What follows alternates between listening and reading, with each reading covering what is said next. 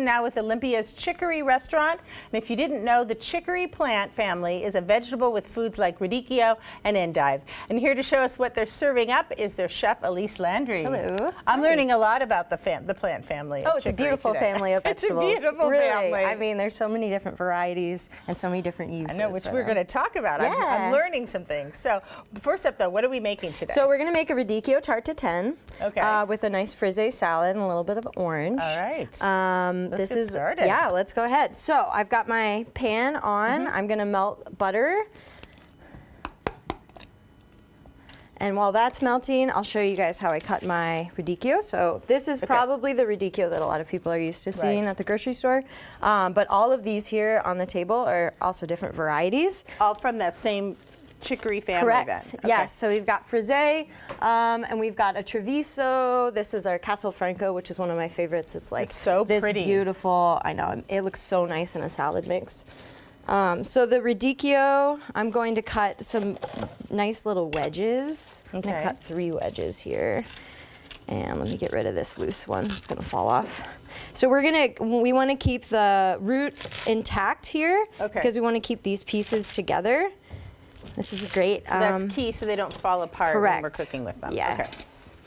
All right, so as that's melting, I'm also going to score my sheet of puff pastry. Mm. Okay. Now this is puff pastry that I made, but anything from okay the to- grocery store okay. would be great. Honestly, I'd be interested to see what how this would come out if you were using pie crust or like a short, like buttery, flaky Okay. dough.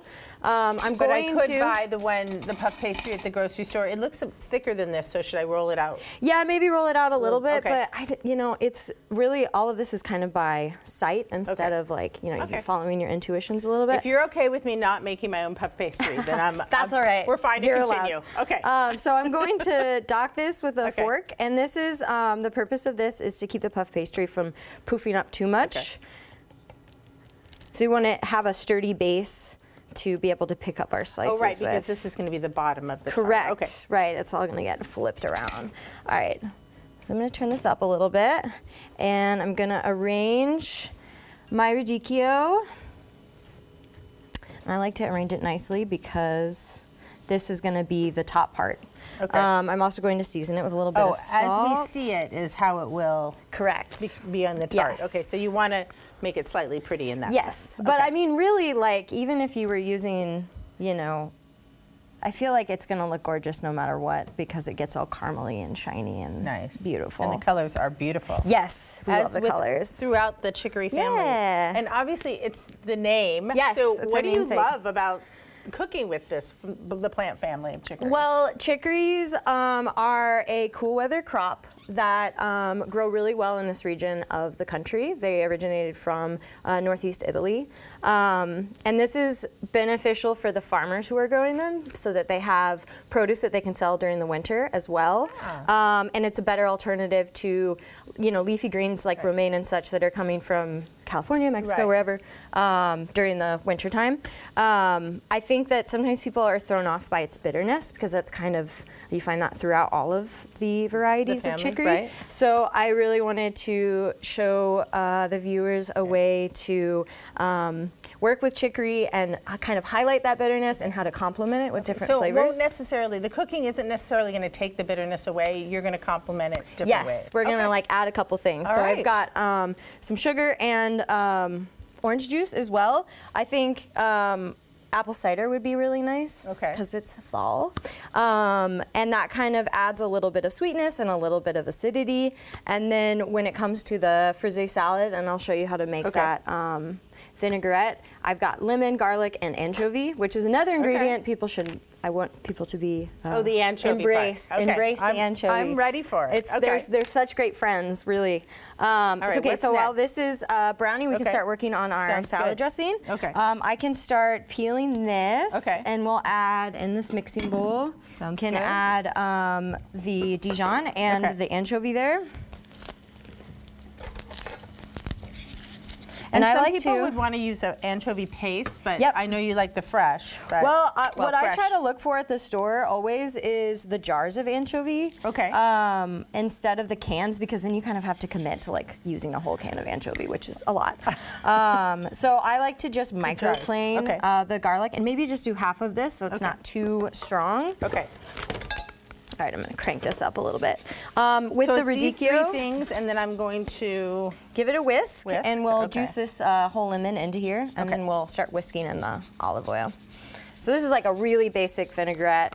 Um, I feel like it hits all the notes. You've got like the richness from the olive oil, savoriness from the Okay. anchovy. The Dijon is always a great base for uh, vinaigrettes because it's it's a great emulsifier. Um, okay, so I'm just gonna. What we're looking for here is like a nice sear on the radicchio. okay. And I'm gonna get some color on the other side as well, and then I'll add my sugar and orange juice, and this is gonna kind of create like a caramel in the pan, um, and then we'll put the puff pastry Nice. on top. And I'm just. You said a half a lemon. yeah, we'll All right. taste it and kind of. There might be, a, you know, a seed or two in there. Ignore those. Okay. All right. So then we have the lemon juice in here, whisking in. Yes, wonderful. What else? Is this ready to go? Yep, that is so that's our base. oil. Yeah, or- and we're gonna start whisking in the oil, Okay. and I can help you with this Okay. as you. Tell me about chicory. All right, so um, we are located in downtown Olympia. Uh, we opened in 2020, which was an exciting time for us all. Um, we we are kind of a casual fine dining restaurant. We are, you know, our biggest. Um, Meaning you don't take yourself too seriously. Correct. But you have good But food. the food is great. Okay. I would like to say. Um, we really make a huge effort in working with local farmers and local purveyors, which is quite easy to do here in the Pacific Northwest. Um, we uh, change our menu regularly, so that's something that diners can expect when they come in, is that they'll find new things. So instead of, I think we can toss this. Oh, the Other way ah, around, I like that yes. even better. Okay, we have about one minute, so Oh, okay, great. finish all right. up. So I'm gonna use my hands. I wash them. I'm going to add my sugar first. Okay. as this softens up, and my sugar clumped up overnight, but this is all gonna dissolve. Um, and we are gonna add the orange juice. That's about a tablespoon of sugar and two tablespoons of orange juice. Um, so I'm gonna let this kind of reduce and caramelize, and that's when I'll put my puff pastry on. Nice. And then we'll bake it in the oven. And with the puff pastry, I'm really just going by uh, sight as far as like golden brown and delicious on the top. Um, And then, so make then you would put the you would put the puff pastry on and bake the whole thing in the oven. Yes. Okay. So it's a one pan dish. All right. I think this would be great for the holidays too because you could really um, cut it up however Okay. you would like. and through the magic of television, Yeah. we have one. Right. So we would put the puff pastry, boom, into the oven. This is momentous for me. I've Ah. always wanted to do a magic Okay. oven. Let me move this to the side. Excited? All right. So And we should say too, while you're go ahead Yes. and take that. Um, this is the finished, beautiful Yes, finished correct. right here. But I'm going to.